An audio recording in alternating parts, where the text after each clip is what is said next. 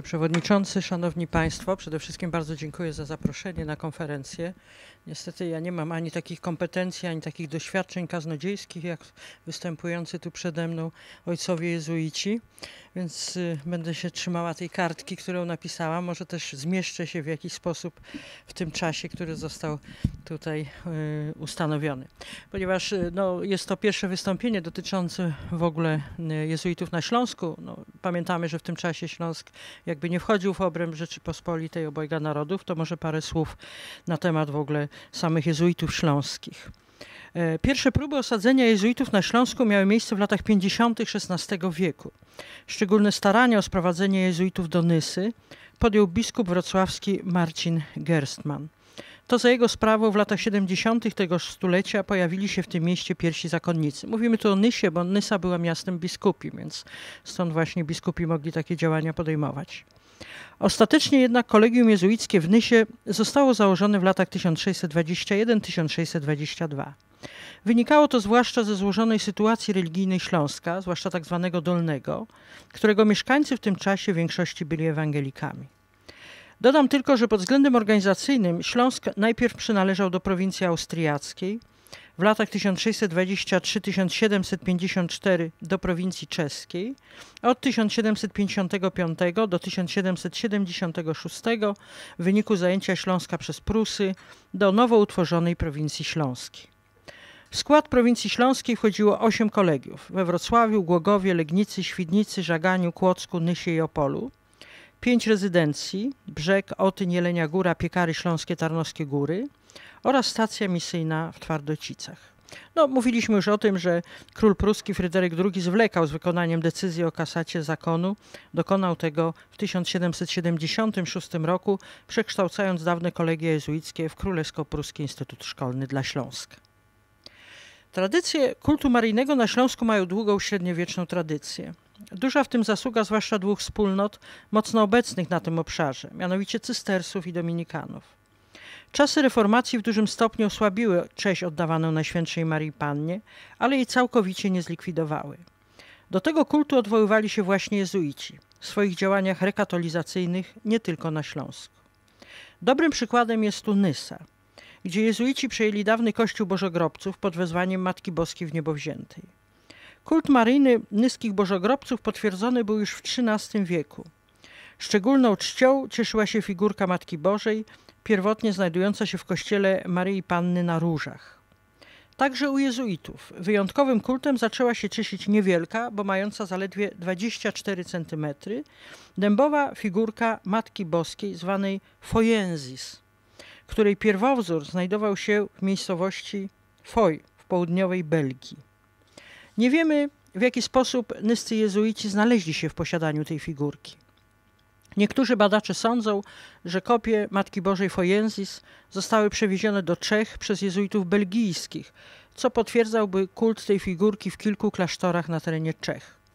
Z kolei wrocławski historyk sztuki Romuald Kaczmarek jest zdania, że był to dar arcyksięcia Leopolda Wilhelma Habsburga, biskupa wrocławskiego, który wcześniej sprawował namiestnictwo na terenie Niderlandów. Pierwsze przejawy kultu tej belgijskiej Madonny w Nysie związane były jednak z tak zwanym kamykiem swoj, Lapillus fojensis, który w 1625 roku miał strzec mieszkańców miasta przed zarazą, a zanurzony w wodzie święconej pomagał osobom cierpiącym na przewidzenia nocne i strzygi. Po raz pierwszy figurka swoj została wystawiona na widok publiczny w dominium nyskich jezuitów Albrechcicach w 1650 roku przy okazji poświęcenia tamtejszego kościoła pod wezwaniem nawiedzenia Najświętszej Marii Panny. Przekazał ją ówczesny rektor nyski Ludwik Krasius, który z pochodzenia był Belgiem. W kościele nyskim figurka umieszczona została w jednym z bocznych ołtarzy. W 1688 roku postanowiono zastąpić ją nową figurą, liczącą już 130 cm, tym razem srebrną, przedstawiającą Matkę Boską z dzieciątkiem trzymającym berło królewskie w otoczeniu czterech aniołów. Jej kult zwiększył się po 1729 roku, kiedy to, jak uważano, za wstawiennictwem belgijskiej Madonny udało się uratować klasztor przed pożarem. W 1730 roku ówczesny biskup sufragan wrocławski Eliasz Daniel Sommerfeld dokonał benedykcji figury i zaaprobował jej kult publiczny. Jednocześnie zakazano tego typu kultu w stosunku do figurki swojej znajdującej się w Albrechcicach. Sześć lat później figurę przeniesiono do ołtarza głównego. Miarą tego kultu jest powstanie fundacji na śpiew Salve Regina. Były lata, gdy wykonywano ją 343 razy w roku. Do tego dochodził śpiew Awe po litaniach oraz często odprawianie mszy przed wizerunkiem Matki Bożej. W 1756 roku odnotowano 82 nadzwyczajne uzdrowienia. Szczególne zasługi położyli także nyscy jezuici w propagowaniu corocznej pielgrzymki do Barda, tak zwanego Barda Śląskiego dziś.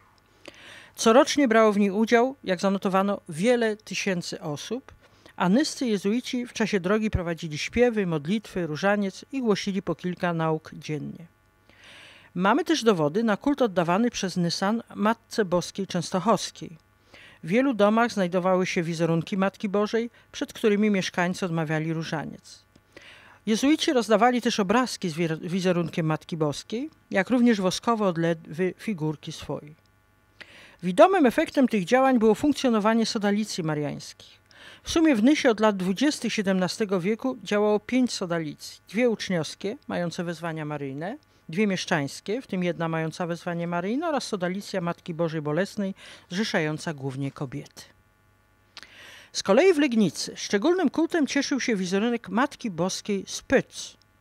Obraz ten namalowany w 1676 roku na Węgrzech w miejscowości Pecz diecezji Eger. W końcu tego stulecia obraz uznano za cudowny. Miały popłynąć z niego łzy.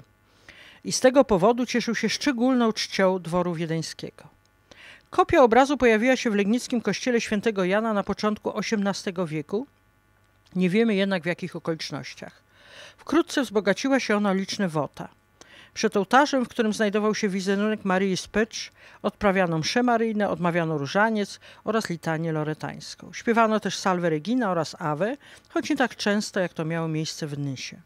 Święto Matki Bożej Gromnicznej jezuici składali bądź odnawiali przed tym ołtarzem swoje śluby zakonne.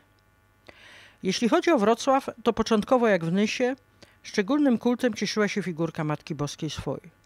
Po wybudowaniu nowego kościoła wrocławscy jezuici otrzymali w darze wizerunek Matki Bożej Wspomożenia Wiernych, wokół którego zaczął się wkrótce koncentrować tamtejszy kult maryjny.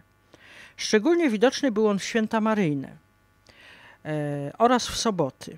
Liczba śpiewanych antyfon ku czci Matki Bożej wzrastała zwłaszcza w okresie wojen śląskich. Z tego też czasu pochodzą liczne wota składane przy ołtarzu.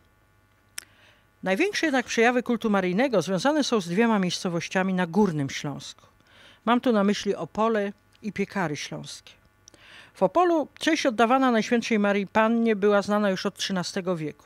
Obie klasztorne świątynie, a więc Franciszkanów i Dominikanów, wśród swoich patrociniów na jednym z głównych miejsc miały wezwania maryjne.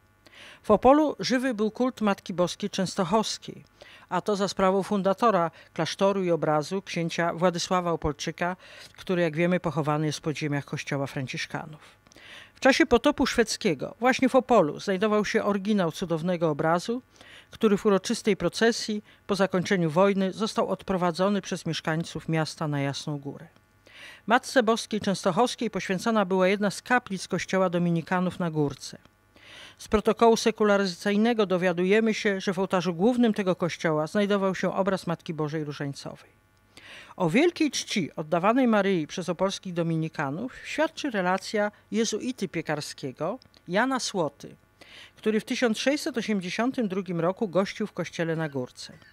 Zanotował on bowiem, że ówczesny przeor opolskiego konwentu dominikanów, Rajmund Mojecki, tak żarliwie modlił się do Matki Bożej, że aż mu się złote języki, iskry wy, wydostawały z ust.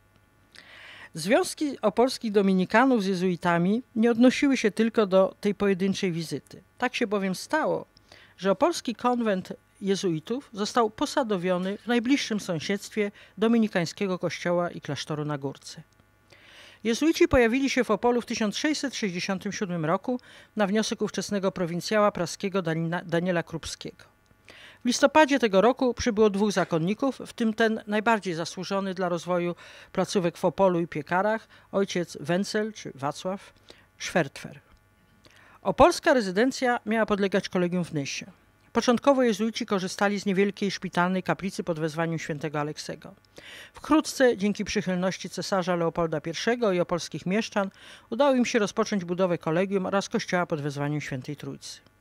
W 1673 roku jezuici w Opolu stali się samodzielnym kolegium. Zostały im podporządkowane placówki w Głogówku, Tarnowskich Górach i Piekarach Śląskich. Początkowo opolscy jezuici propagowali kult Matki Boskiej Częstochowskiej. Ojciec Schwertfer starał się nawet odzyskać oryginał obrazu, napisał zresztą w tej sprawie do Paulinów na Jasnej Górze, argumentując to tym, że według założeń fundatora, księcia Władysława Opolczyka, Opole było jego miejscem docelowym tego obrazu i obraz miał się znajdować właśnie na Zamku Górnym w Opolu. Gdy to się jednak nie udało, no to akurat zrozumiałe, ojciec Schwertfer nakazał wykonać kopię obrazu, poświęcił go przez zetknięcie z oryginałem i umieścił w ołtarzu głównym nowego jezuickiego kościoła. Na placu zamkowym odbywały się procesje ku czci jasnogórskiej pani. Dwa razy w roku jezuici organizowali też pielgrzymki do Częstochowy. Dopiero po przyjęciu placówki w Piekarach jezuici zaczęli popularyzować kult związany z tamtejszą Madonną. Kościół w Piekarach zmiankowany jest po raz pierwszy na początku XIV wieku czasach reformacji został jednak przejęty przez protestantów. Katolikom udało się go na powrót odzyskać na przełomie trzeciej i czwartej dekady XVII wieku. Szczególne, rozwoju, szczególne zasługi dla rozwoju kultu Matki Boskiej Piekarskiej położył proboszcz piekarskiej parafii ksiądz Jan Roczkowski. On to właśnie zdecydował się przenieść obraz Matki Bożej z dzieciątkiem z ołtarza bocznego do głównego. Niestety nie wiemy, kiedy obraz znalazł się w piekarach. Według Jerzego Gadomskiego obraz Matki Boskiej Piekarskiej należy do grupy tzw. Tak hodogetri typu krakowskiego. Został namalowany około 1500 roku na podstawie niezachowanego oryginału, który przybył do Krakowa u schyłku XIV wieku.